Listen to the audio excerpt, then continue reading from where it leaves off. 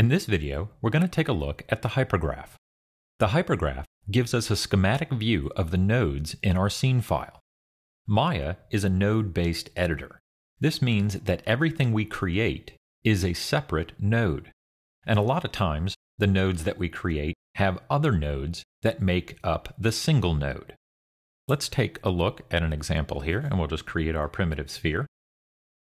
And if I scroll over here into the channel box, you can see these different headings here. We have p-sphere, p-sphere shape, and polysphere. Each one of those are separate nodes. I'm going to switch to the attribute editor and we can see these a little bit better. Each of these tabs are those separate nodes. Now we can look at these specific nodes inside of the hypergraph. Let's open that up that's a separate window. Go to Window, Hypergraph.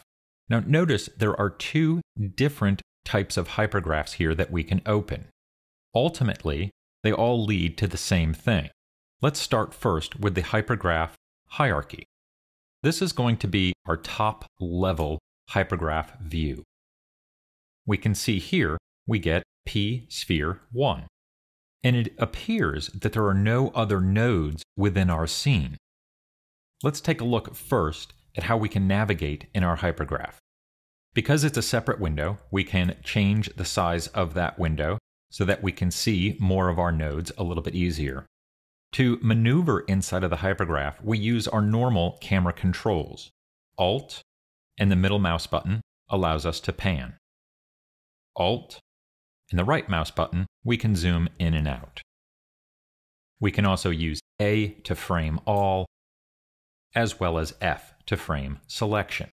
Now, to expose more of the nodes that make up our scene, we're going to go to Options, Display, and check Hidden Nodes. This will immediately bring up all of our camera nodes. So each of our cameras, our perspective, top, front, and side, all have separate nodes as well. Decrease the size here a little bit. Now, as we saw inside of the attribute editor and the channel box, there are other nodes attached to our P sphere node. Let's go to Options, Display, and we can expose those nodes by checking Shape Nodes. Now I have P sphere 1 as well as P sphere shape 1. Notice that our camera nodes also have individual shape nodes. The top node here that we see is the transform node. These are my transformation values. This is all on p-sphere 1. Underneath there is my shape node. This is the node that actually holds the geometry. So this here is the transform node. It simply locates the geometry, whereas this guy here, the shape node, is the node that actually makes up the surface or the object itself.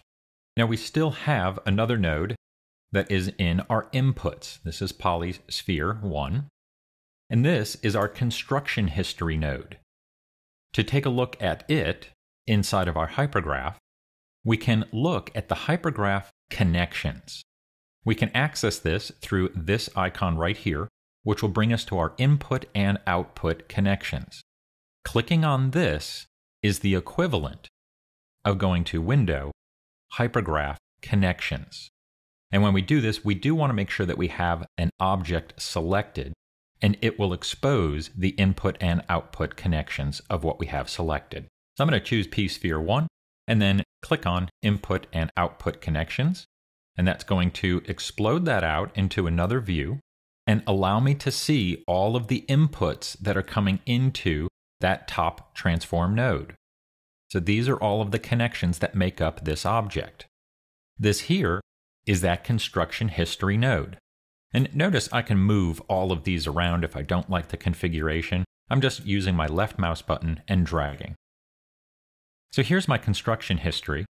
And then I have a line that shows me the connection that is the output of that construction history going into the in-mesh attribute of the shape node.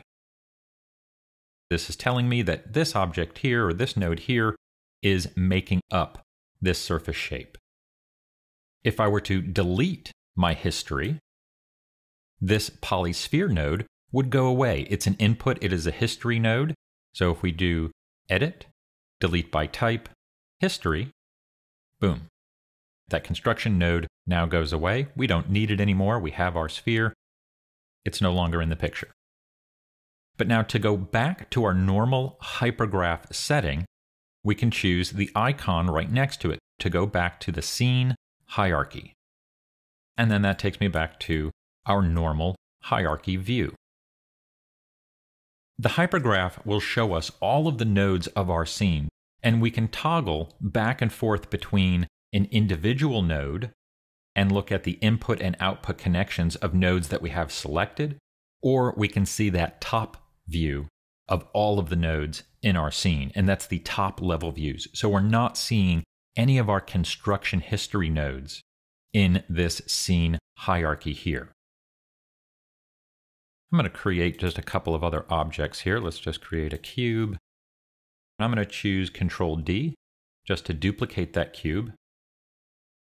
And let's take a look at some of the other things we can do inside of our hypergraph. So first, I'll select all three of those and we can choose input and output connections. It will expose all of them. Here are the transform nodes. These are the top level nodes. And over here, I have all of the history and construction nodes all going into the proper node. So we have our cube, our sphere, and our second cube. Now, this guy right here is just the initial shading group. This is just being assigned so that we can see these objects. It's a default node. You can't delete it. You really can't do anything with it, so we can just basically ignore it. Let's go back to our scene hierarchy. Now, if I want to do parent-child relationships here, I can by middle mousing on a node. I don't have to select it. I can just middle mouse and drag and drop to another node. Notice that it automatically highlighted it now. I did not select that. So again, I can middle mouse and just drag it in my hypergraph and I can put it anywhere. So we'll make it a child of p cube 1. And now I have this little hierarchy of cube to cube to sphere. Now to break that connection, I'll middle mouse and just drag into empty space. And once again, I do not have to have anything selected. Just middle mouse and drag. Now the shape nodes you cannot break off. I can't take those and make them a child of something else. We can only do the transform node, again, because that transform node is holding the position of our objects. Now, since the hypergraph can show us everything in our scene, the hypergraph can get really busy. We can end up with a lot of nodes inside of here, hundreds to even thousands of individual nodes. So we have a couple of different things that we can do to keep our view to a minimum. I'm going to make these children again. But before I do, I'm going to go to Options, Display, and turn off Shape Nodes. So just right there, that really condenses my view. Now it is just showing me the entire node as one combined node of a transform and of a shape node. Nothing has changed on the objects themselves, it's just a different view. Okay, so if I choose Options, Display, Shape Nodes, then it breaks it out into that transform and shape node. With that off, all I get is the singular node. And let's parent these up. And if I have a really long chain here, it's going to extend all the way down, but we can double click on the top node and it will collapse it. So again, that can save us a lot of screen space. And to expand that back out, I can right click on the node and either choose expand or expand all. And the difference here is that because I have two levels, it'll expand just to the first level. We'll go back, I'll choose collapse, same thing as double clicking it. And if I choose expand all, then it will expand everything in there.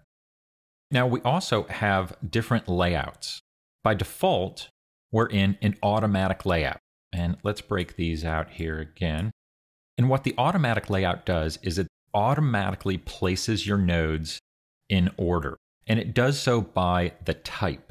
You can see here that it's all geometry. I've got all my cameras first, and then it goes to geometry. If we click this icon here, we can then go to a freeform layout. And freeform layout allows me, like we saw with the hypergraph connection view, I can grab all of these nodes and move them anywhere I want. So, again, if we're working on a very complex scene, we may want to arrange these ourselves so that we can make more sense of it. If you click and go back to the automatic layout, it will arrange them, but you will not lose your freeform layout. So if I click back on this, all of my positions are still there. Okay, and it actually will retain all of those movements that I made.